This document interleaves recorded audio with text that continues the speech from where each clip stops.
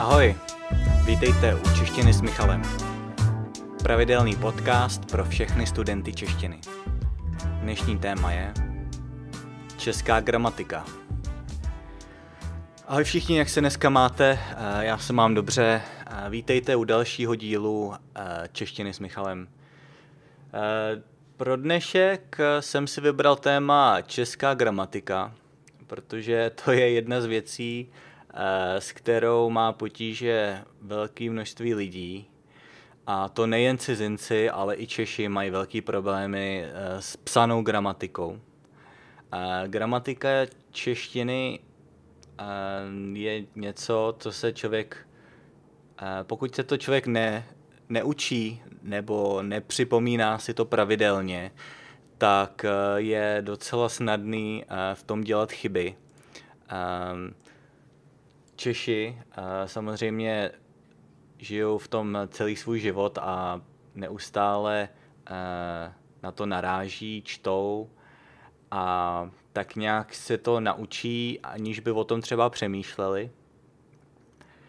Ale potom, když přijde na psaní, tak se objevují ty chyby. Jo, když si povídáme, když mluvíme s nějakým jiným člověkem, tak ta gramatika není tak důležitá. Ale potom, když to chceme napsat na papír, tak najednou vidíme, že uh, si nemusíme být třeba jistí, jestli se píše měkký, uh, měkký i, tvrdý i, jestli se píše e s háčkem nebo je a podobně. Krátký, třeba tématický a tématický, jak se to píše, tohleto slovo. Já jsem si třeba doteď myslel, že tématický se píše t, e, e se píše dlouhý, ale ve skutečnosti tematický, jako tematická skupina, a nebo a, že je něco tematického, a, tematický, a, tematičtí a tak dále, tak to se píše t-e, t e, krátký. T-e e je krátký.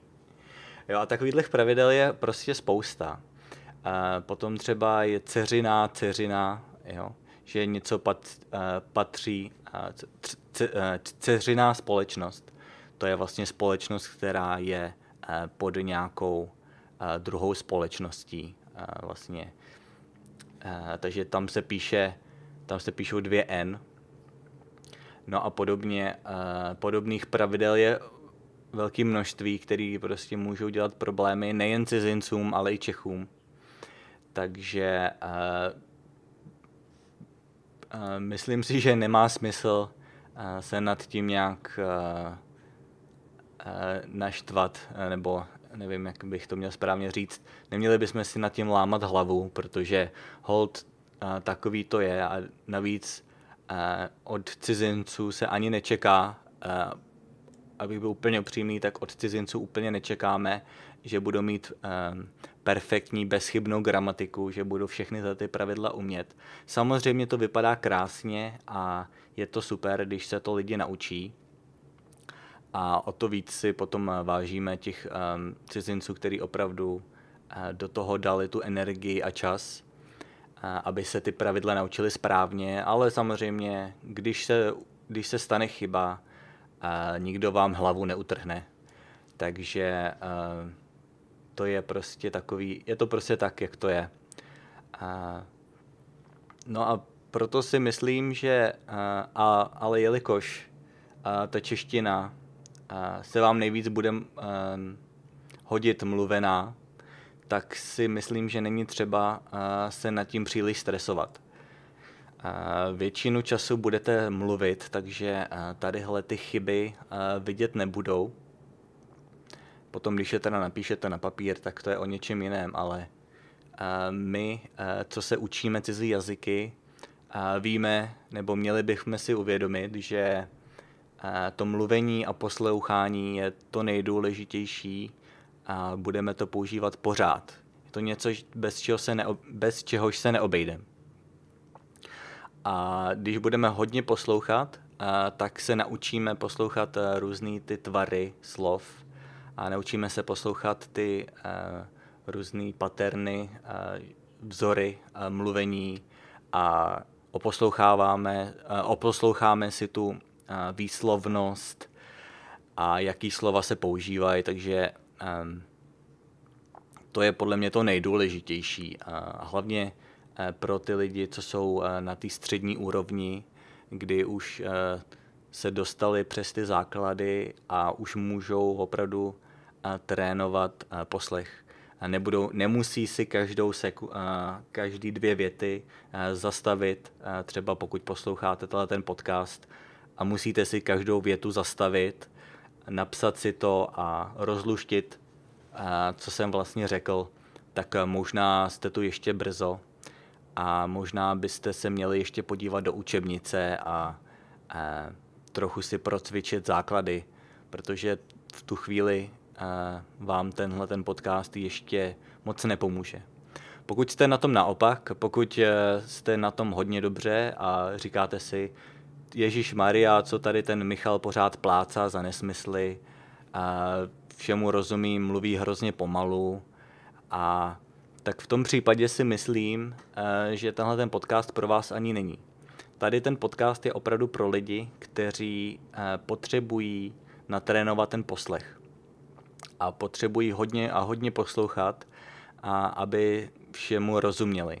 A pokud rozumíte úplně všemu perfektně, tak samozřejmě eh, pokud vás eh, podcast eh, baví, tak jsem rád, že jste tu a poslouchejte dál. Ale je to opravdu mířený pro lidi, kteří se na takovouhle úroveň ještě nedostali. A takovým lidem a i těm mnohem pokročilejším bych chtěl jenom prostě vzkázat, že ta česká gramatika je opravdu těžká. A to, že děláte v ní chyby, je jasný. Lidi prostě chyby dělají v takovýhle složitý gramatice. Když si vezmete, kolik máme různých tvarů a pádů a podobných pravidel, tak e, to je opravdu něco, co vám dokáže zamotat hlavu.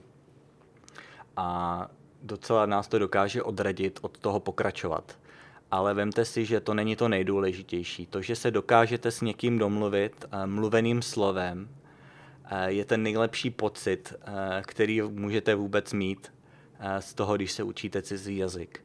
Takže já si myslím, že je lepší se zaměřit na poslech a na mluvení a ne příliš si hlámat hlavu s gramatikou českou. A samozřejmě, pokud už se dostanete dál a hledáte třeba práci v Čechách, tak je to trošku trapné, pokud děláte takový ty základní gramatické chyby. My Češi je už asi ty nejzákladnější chyby neděláme, hlavně protože už jsme to trénovali opravdu od e, sedmi let nebo od první třídy základní školy a když už to prostě vidíme napsané na papíře, tak nás to trkne do očí a úplně to vidíme Eh, tu chybu a automaticky ani nad tím třeba nemusíme přemýšlet, proč je to špatně, nemusíme si pamatovat, jak jsou ty pravidla daný, ale prostě víme, že tohleto slovo se píše jinak. A nebo že třeba v tomhletom kontextu uh, se použije třeba jiná gramatika, použije se třeba tvrdé i místo měkkého a podobně. Potom jsou další takový ty slova, ale takže tohle to mně přijde jako ten uh, základ té české češtiny, uh, gramatiky. Ale to, s čím teda já osobně mám asi největší problém, jsou takový ty slova, kdy si nejsme jistý, jestli se tam třeba píše mezera, uh, jestli to jsou dvě slova nebo jedno slovo. Um, abych vám dal nějaký příklad. Tak um, třeba nahoru a nahoru. Tak eh, vylezl jsem nahoru a vylezl jsem uh, nahoru jako nahoru uh, na, na horu říp.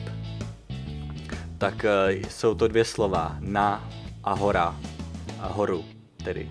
Takže tam, tam je to oddělený, ale potom, když řeknete, dal jsem ty uh, knížky jsem dal nahoru, a, tak tím myslíme, že jsme je dali na něco, že jsme je na něco postavili a tam se to píše dohromady. Tak a, to jsou prostě takové věci, které můžou dělat problém. Zrovna tady ten příklad nahoru, nahoru eh, je zrovna jednoduchý, ale eh, jsou i jiné věci. Teď jsem si nedokázal vybavit eh, žádný dobrý příklad, ale jsou i takový prostě, ale chtěl jsem jen říct, že i pro Čechy jsou gramatické pravidla, které nám dělají problémy a musíme na nich prostě čas od času zase zapracovat.